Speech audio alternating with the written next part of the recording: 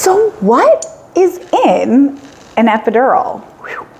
So we're actually going to take this part out. And what I wanna find out or I wanna tell you guys about is what's actually in.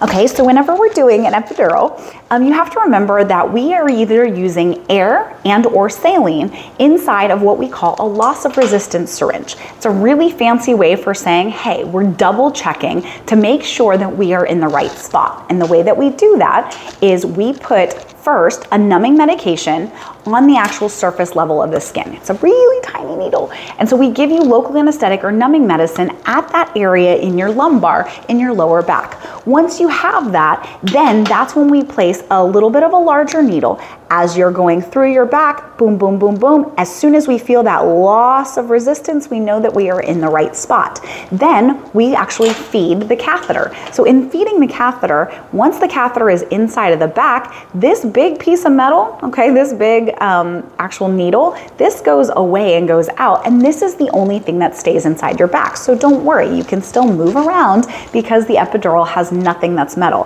What I do want you guys to remember though, is then afterwards we give local anesthetics and also a mixture of some pain medication sometimes. Okay, so again, you get local anesthetics and some pain medication. Most patients are really comfortable very quickly. It takes about 15 minutes for those medications to work in. So that's really it. And then don't forget, we have what's called a test dose. Test dose of medication is a little bit of local anesthetic, lidocaine, mixed with epinephrine. And the way, or the reason why we do that is to make sure that we are in the right spot. Now, if you want that right spot on your wrist to make sure that you don't get sick, all you gotta do, press here, three finger distance in between your first two tendons, or you can just go buy an NoMo Nausea band for 10 bucks and it will help to stop you from getting sick while you have the epidural during your birthing experience and even if you have to go to a C-section.